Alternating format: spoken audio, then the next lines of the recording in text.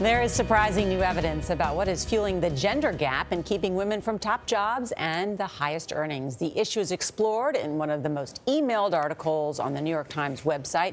Women did everything right, and then work got greedy. That is a reference to how a lot of employers now demand long, inflexible hours and round the clock availability.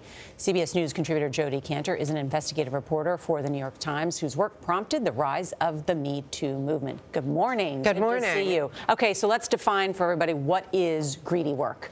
Greedy work is a new way of thinking about a very familiar problem, which is how do we have all of these women going to law school, all of these women going to business school. It's practically 50-50 in those arenas.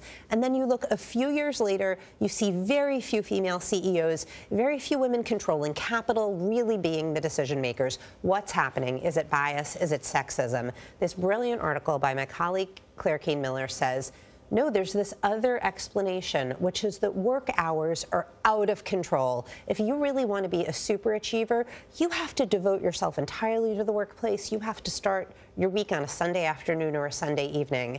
And because people are marrying essentially their twins, one person with an MBA marries somebody else with an MBA, it's like it only makes sense for one of those two people to become, try to become the super achiever. Mm -hmm. And it usually ends up being a man. So it's a little bit of a stomach dropping article because it says, wow, you know, women yeah. have done everything right. Yeah. And then this other thing came along, the explosion of hours in the world of work, and it's eroding all of these educational gains. So let's circle the usually becomes the man who's the one who works the 80 hours. Why?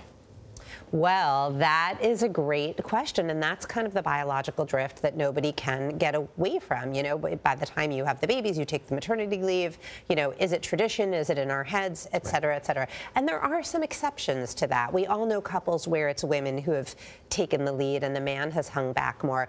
But what it's showing us is that there's this thing that we all feel, and that's felt at all income levels, right? Not just the elite one, mm. which is that work demands more of us than ever. Yes. And that is is that has that has a kind of obliterating power over other things we're trying to do and adjust. But there was lives. something that really surprised me in this article. It says that working mothers today spend yeah. as much time with their yeah. children as stay-at-home mothers did in the 70s. Yeah. Parenting has become more demanding and it's yeah. almost become, right. it, many people treat it, you know, sort of like a job. I thought another one of the great lines in this article was talking about this kind of class of women. It was saying, these women don't stay at home because their husbands are rich. Their husbands are rich because they stay at home. Essentially, they're the hidden ingredient that lets their husband lets their husbands work all these crazy hours. So what's the what are some of the proposed solutions? Well, there are proposed solutions, but this is where it's really hard because we all have the disease of being unable to draw back from more work. And so what it would really take, on the one hand, there's a lot of evidence saying that, you know, uh, beyond a certain point, working excessively hard actually doesn't doesn't get you anywhere. We all know it. It's logical, right? That beyond a certain point, we're not actually accomplishing that much more.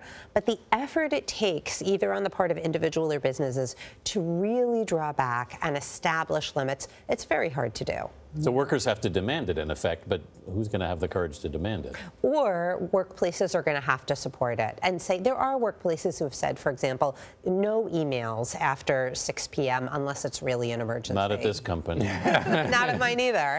It's very hard at news organizations. All right, Jodi, always good to see you. Thank you so much. Jodi Kantor, thanks.